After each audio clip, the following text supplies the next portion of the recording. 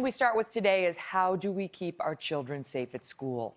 Everyone's having this talk at the dinner table across the country, and we are having it right here as tomorrow marks one month since the tragedy at Marjory Stoneman Douglas High School in Parkland, Florida. 17 students and faculty lost their lives that day. And students at Stone, Stoneman Douglas and throughout the country are prepared to walk out of their schools to honor the lives lost and press for change on this one month mark. One of those voices pushing for change is Lori Alhadeff. Her 14 year old daughter Alyssa was one of the victims, and Lori says she will now use every ounce of energy she has left to make sure, make sure no other parent has to face this pain. It's become one of the most memorable moments stemming from the unimaginable grief and anger over the Parkland, Florida school shooting. The gunman, a crazy person, just walks right into the school, knocks down the window of my child's door, and starts shooting, shooting her. The emotional plea of a mother on CNN. I just spent the last two hours putting the burial arrangements for my daughter's funeral, who's 14. President Trump, please do something! Lori Alhadeff's oldest child, Alyssa, loved soccer, had many friends, and big goals. Friends and family describe her as passionate, fun, and kind. Alyssa was one of the 17 killed that afternoon. Our daughter was our life.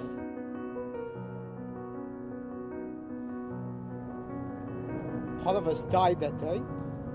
Tomorrow marks one month one month since the promise of a future was brutally stolen from 14 students and three faculty members trying to protect and save others. Lori Alhadeff has spent that time speaking out. She is determined to do what she can to make sure no other families endure what hers has. No kid should have to say to their mother, Mommy, am I going to die today if I go to school? And she's taking it to the next level with her new organization called Make Schools Safe, which is aimed at doing exactly that. We're fighting for all the kids of America, not just Parkland. We're fighting for everyone. Hmm. Lori Alhadeff joins me now. My heart goes out to you on your loss, and my gratitude goes to you as well as a mother of three children myself, and I know you have two other children as well who you're, you're determined to protect my kids and your kids and all of our viewers' children. When we saw you that day, or when we saw you on CNN saying, do something, you know, directly addressing President Trump, do something. Do you have faith at this moment that something will be done, something meaningful? I do. I think we have come together as one nation and one voice and the whole entire world and the United States of America, we are all fighting to make our schools safe again. Mm-hmm. How, how are you doing one month after this loss? I'm in survival mode. I'm fighting. I'm fighting for my two other children, and I'm also fighting for the rest of the kids in America and around the world. That's got to be somewhat cathartic, right? To work on an action plan as opposed to just being mired in your grief, which I'm sure is happening as well. Can we go back to the day that we lost Alyssa and, and the first notice you had that something was wrong at the school? I was at home and I received a text message saying, Shots fired at Stoneman Douglas, kids jumping the fence and running. I immediately had an overwhelming sense of loss that came over me. I knew at that moment that Alyssa was hurt and something happened. I got in my car and I drove as fast as I could to get to Alyssa at the school. I parked my car on the sidewalk and I got out and I ran and I ran to go get Alyssa. I was the only one holding myself and I was screaming. I knew, I had a sense of knowing that something was wrong with Alyssa. At one point, there was yellow tape across from tree to tree. And I broke through the tape and I started running, trying to get, but a police officer, 200 pounds of all muscle, he stopped me. And I said, I have to get to Alyssa. She's hurt. And he pushed me back. They wound up putting you and other parents in sort of a holding area while they figured out where the shooter was, what the situation was, and so on.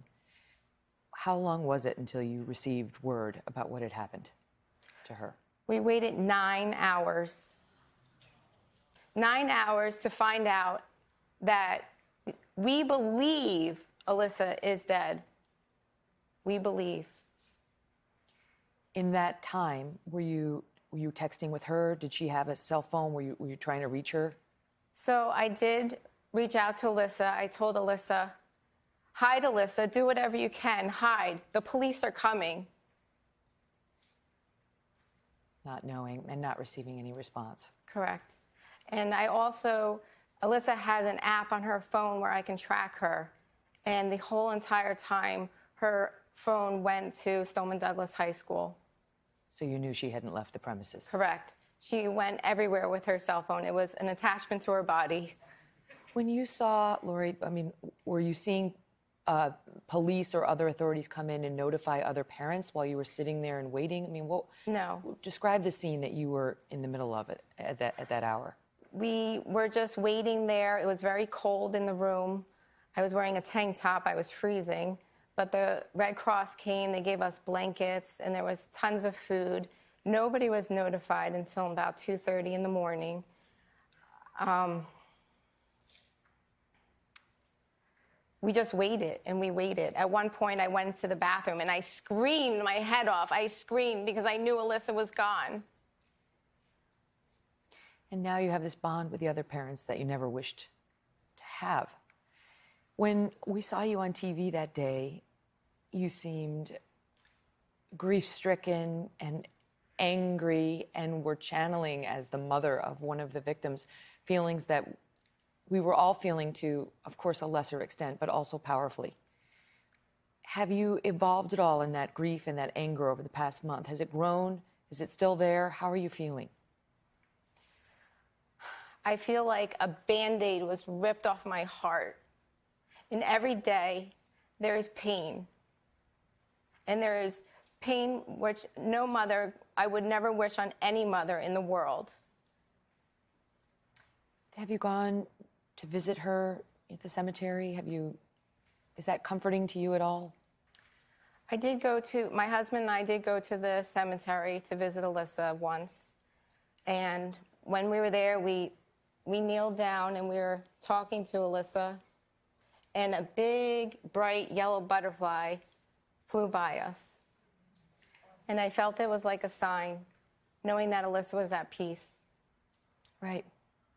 And now you are working so hard and diligently in the midst of this grief to try to protect all children. And she's joined by a group of students who are looking for accountability and looking for change change that will allow them to live and learn in their schools safely. Hello, Today fans. Thanks for checking out our YouTube channel. Subscribe by clicking that button down there and click on any of the videos over here to watch the latest interviews, show highlights, and digital exclusives.